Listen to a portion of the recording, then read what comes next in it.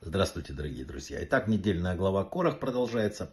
Вы знаете, мега актуальная для нас глава. Вообще, э, человек должен для себя понять, если он читает недельную главу и не находит что-то конкретно о себе и для себя, он не вчитался до конца. Потому что Тора, она живая, она для тебя, для каждого человека отдельно и всегда можно на ней что-то найти. Обратите внимание на замечательного человека по имени Корах.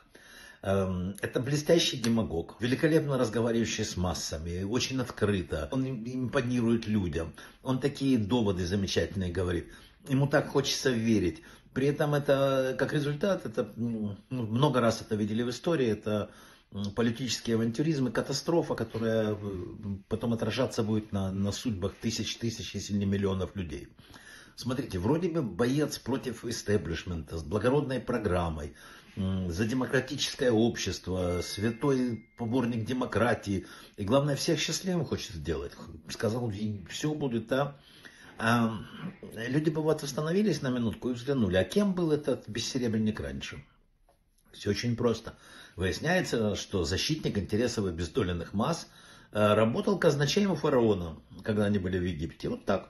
Потом еще как-то очень обогатился, говорит, что нашел сокровища, там, что там было, мы не знаем, но 300 валов везли ключи от сундуков с золотом. То есть есть такая пословица была «богат как корох». Смотрите, как великолепно, как это все нам знакомо. Он рассказывает очень такие душесчипательные истории о страданиях вдовы, о эксплуатации там, бедняков с правящим режимом. Равноправие будет, люди будут жить хорошо. Короче, долой все старые правила – весь мир насилия мы разрушим до основания, а потом мы построим, а мы знаем, что уже, это же не раз уже, слава богу, мы-то точно видели, как это все строится.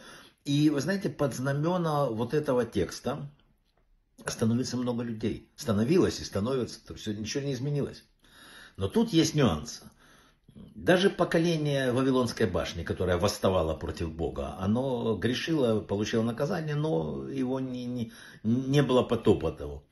Потому что самое дорогое, что есть у Бога, вот вдумайтесь, это что? Это единство. Это единство. Почему? Потому что если вот у тебя отец, и у тебя есть много детей, то для тебя сплоченность детей, это, ради этого ты готов многое прощать. А что произошло здесь?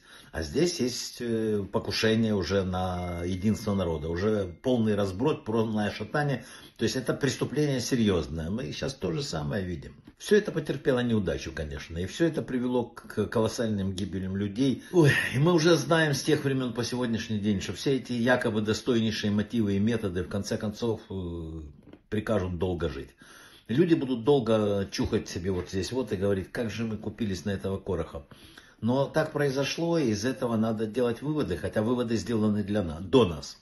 Э, читаем пророка Ихескеля, что он говорит. «И будут знать все деревья полевые, что я Господь сделаю высоким дерево низким, а низкое высоким». Так написано. Рассказывали наши мудрецы, что низким сделаю высокое дерево. Это про Короха. Высоким сделаю дерево низкое. Это про Аарона. Конечно, согласно обычному ходу вещей, победа должна была быть за Корохом. Он самый богатый, у него есть золото, у него средства массовой информации, он мог всем управлять. Он во главе стоял. Все, он победитель, якобы, да, если не учитывать кого наверху начальства. Да. Корох провалился в бездну вместе со всей своей мешпухой. Да. И тут есть тоже для нас положительный момент, который тоже мы должны учиться. Сыновья его уцелели. Буквально в последнюю секунду написано, они сделали раскаяние.